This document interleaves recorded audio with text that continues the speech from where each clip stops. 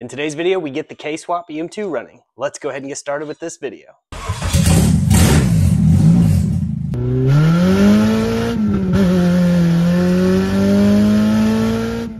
God bless you and welcome to the channel. If you're new here, please consider clicking that subscribe button.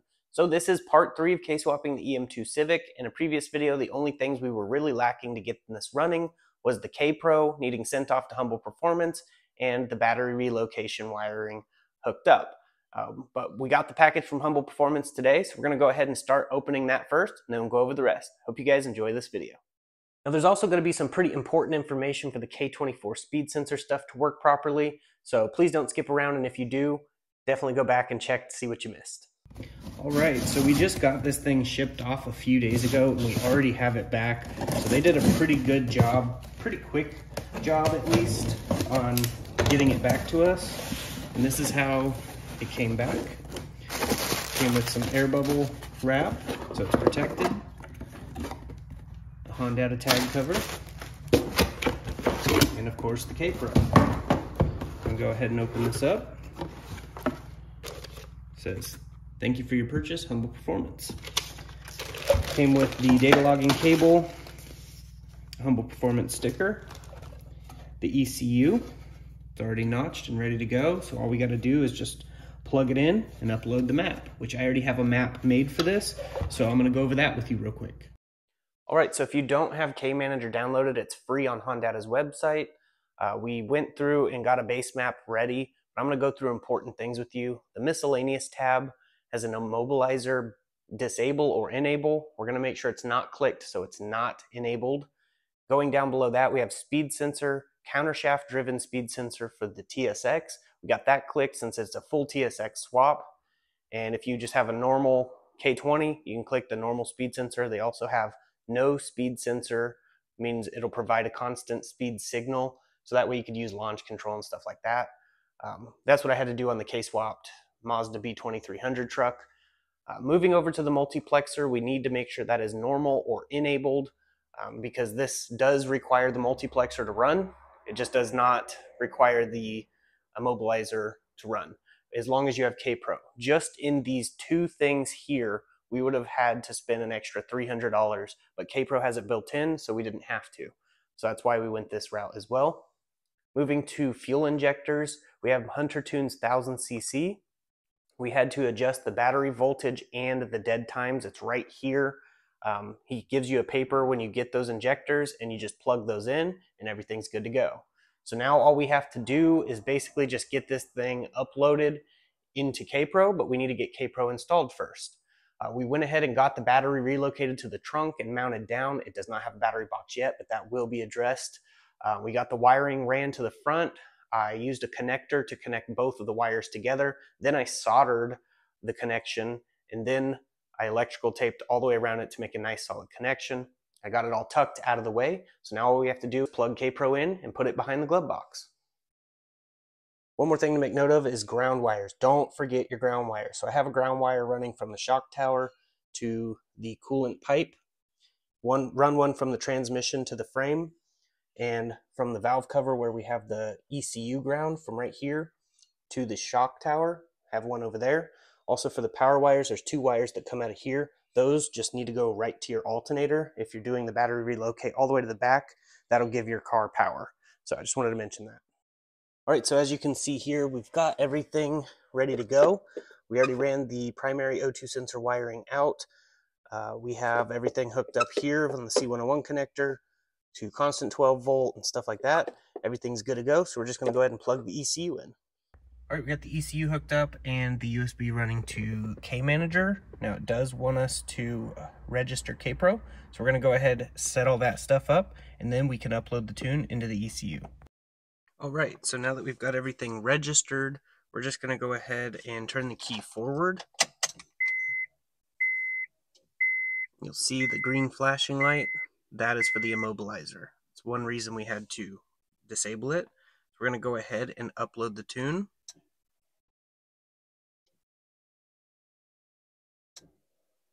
It's saving. And we can data log and get a live feed there should be an error code for an intake temperature sensor because I don't have it hooked up. Very nice. All right. So we are going to start it, but before we do that, I wanted to show you this. So I went ahead and made a bracket for the throttle cable. This is using the factory EM2 D17 throttle cable.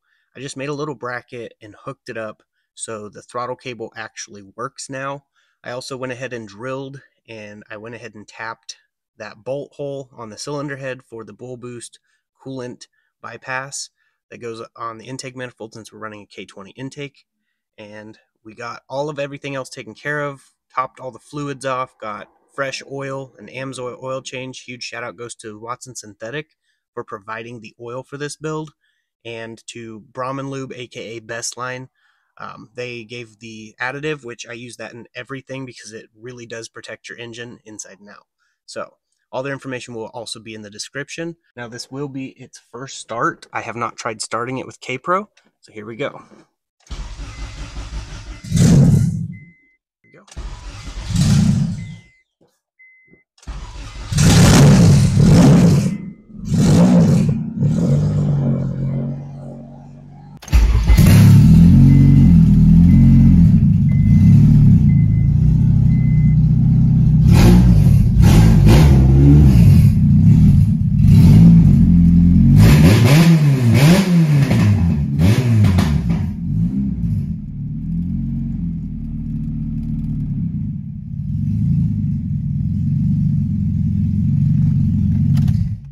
Sounds so good.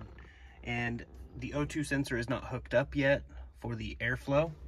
Uh, but yeah, definitely runs.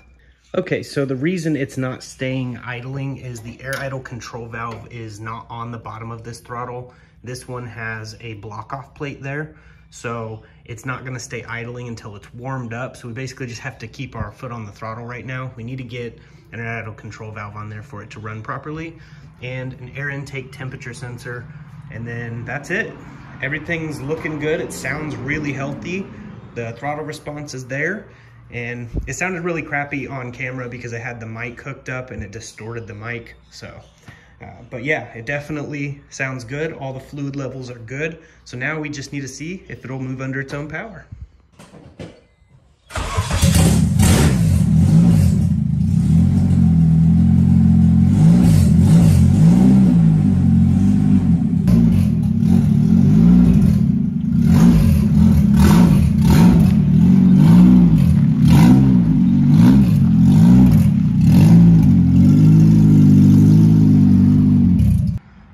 So it definitely runs and it sounds really good. So now we're going to take it out on the road. I had to put the tag back on and I'm just gonna set you guys up there.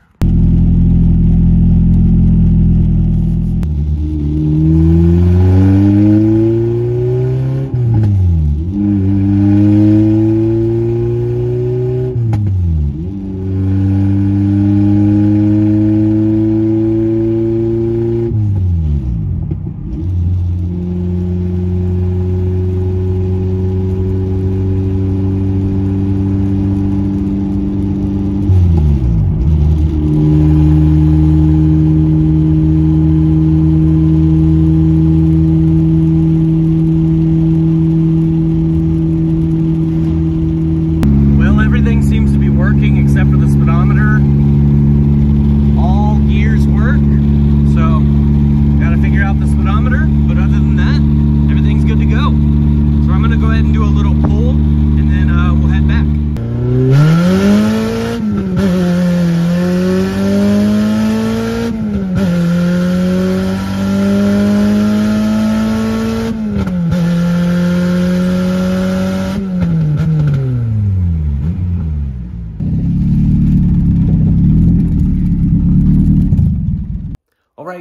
after I got back, uh, a huge storm picked up, which was weird because it was such a nice day today. Caught us off guard. We had to get everything prepared real fast for that. And then I had to go in and eat. Came out and figured some things out that you guys may need to know if you're going to be doing an 08 TSX swap with a six-speed manual transmission. So let's go over that real quick. All right, so if you're doing a K20 or K24 swap and using a TSX transmission or an 03 or newer Accord transmission, you'll have a countershaft sensor up front this the vehicle speed sensor basically. And if you're doing like an 02 to 04 transmission, then they should be at the back. Um, but this particular case, if you're going to be doing a K24 transmission, you need to hear this. You can get this adapter harness for a K20 engine harness and it plugged and plays right into the sensor. But one thing to make a note of is if your sensor is missing the two millimeter spacer that goes right here before the transmission, it bolts in with a two millimeter spacer behind it. If you don't have that, it smashes third gear and then the sensor's useless.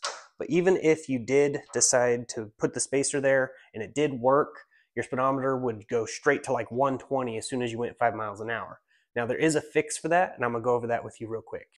All right, so in order to make this work properly, you need to have the B connector, which I'll put a pin out on screen. The B connector at B11, which is an empty spot, you need to pin that. And in order to do that, you need a pin and a wire. Thankfully, the Jackspania harness came with extra wires. They're auxiliary wires just in case. And I chopped one of those, shoved it in the pin, and then I was able to connect it to the Civic side of the C101, which is pin number six, and that is for the speedometer. So it'll go out of the B11 and into the speedometer side. And you can basically bypass the whole C101 connector harness and just jump straight to it. But I decided to keep it within the harness um, and get it all put back together. So now the ECU is ready to go. Uh, I'm going to go ahead and show you some of the video clips of that.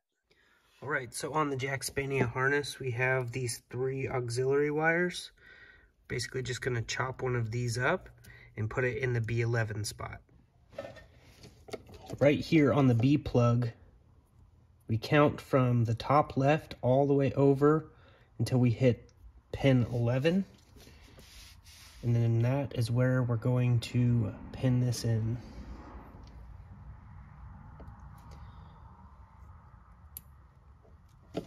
and now it's pinned and this will be the output signal from connector B11.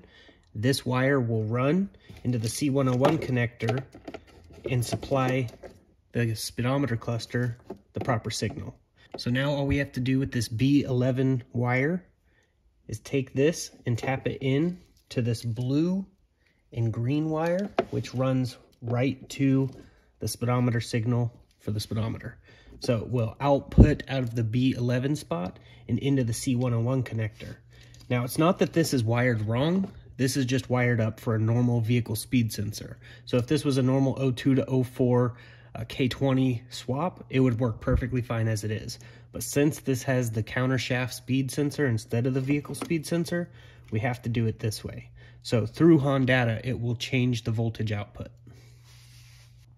All right, so looking at Jackspania's tuck harness, with it coming out of the firewall, looking at this C101 connector, if we turn it around, the top left is one, the yellow is two, and three is the purple. So this purple wire is what sends the signal to the speedometer cluster. So if we plug that in, then we go one, two, three, we can see it's this white and green wire. And if we follow that wire all the way to the vehicle side of C101 connector, you'll see that it is right here, and that is pin six. So one, two, three, four, five, six. And if we look on this other side of it, that lines up with the vehicle's speedometer. So this is the speedometer wire. So basically what we're gonna do right now is we're gonna cut that wire, trim some of it back, and then these two are gonna be connected. So now the output signal is coming from the ECU on connector B11 and jumping straight over to the C101. So this is the vehicle side C101, and that is for like the D17 engine's wiring. And that will connect just like that, and it'll send the signal right up to the cluster. So I'm gonna go ahead and get this soldered up and cleaned up. Now these three wires were just auxiliary wires on the Jackspania tuck harness. So these are not needed for anything. You can use these if you ever do like a boost control solenoid. It's already tucked through the harness. So that's why they already have the pins on it just so you could go right to the ECU. So it was really, really good that we had these so we could use it for the B11 plug. Uh, so it's very awesome that Jackspania provided those extra wires. So we can just tape these up and if we ever need auxiliary wires, we still have some. All right, so after all that's done, you can go ahead and put this computer in there. Now you will have to trim some of the tabs off in order to get it up in there good, but it does get in there. And make sure to connect your data log cable first, getting all the wires in there, putting all of it back together, getting the glove box back on, and then it should look something like this and everything's basically done. The only thing we have left to do to this is to get that countershaft sensor replaced on the transmission because it runs, it drives, it shifts.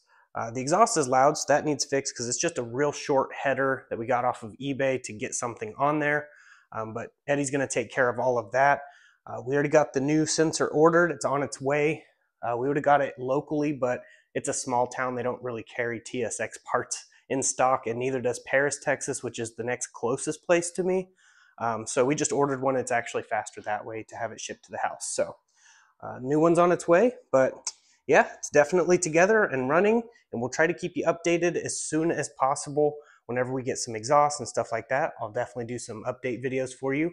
But uh, yeah, I hope these K-Swap EM2 videos helped you. If there's something I'm missing, please feel free to message me on Instagram, instagram.com forward slash Texas Honda Channel. I'll do my best to point you in the right direction. I do not know everything. Uh, I'm still kind of learning some stuff along the way as well. Now, I've done two of these K-Swap EM2s. I K-swapped my Mazda B2300, and I've done a lot of other uh, builds in the past. So I do know my way around the motor. So if you do have an issue, please let me know. And uh, one thing I just recommend is grounds. Make sure to check grounds always and fuses. Uh, some of the simplest no start situations were a fuse or a ground. So I hope that helps you. I'm going to go ahead and get off here, and roll my outro. Really hope you enjoyed the video. And if you did, please hit that like button, drop a comment below, share the videos around, and subscribe if you're new here. But I'm going to go ahead and roll my outro, and here it is. I just want to let you know the gospel, which means good news. And the good news is we don't have to live this way no more. Who the son sets free is free indeed. Jesus died and rose again, conquering death for you and I. When he went to the cross, he was thinking of you. No matter what you've done, you're only one step away from the cross. So all you have to do is repent, believe in your heart, confess with your mouth that Jesus rose from the dead, and you will be saved. And I just pray that this message reaches the right person because I don't know who this message is for. But I just put it at the end of my video and pray that it goes to the right person. So God loves you. He's calling you, and He even wrote a love letter to you click the Bible link in the description. It's totally free. I get nothing from it other than the fact that you can make it to heaven. And it's not of your good works, it's not of mine. We are only saved through one name above every name, and that name is Jesus. And in the native tongue, it would be Yeshua. And if you want to go all the way back, Elohim, the creator of all. Jesus is calling you. He loves you, and he died for you. That's how serious it is. For the wages of sin is death, but the free gift of eternal life is through Christ Jesus. All you have to do is accept the gift. If I was to give you the keys to my truck, you couldn't have them unless you took them. Well, the same thing for heaven. Jesus is providing a way out. Everyone is on their way to hell right now, on this one path to destruction, and He's providing the way out. It's that simple. God loves you so much.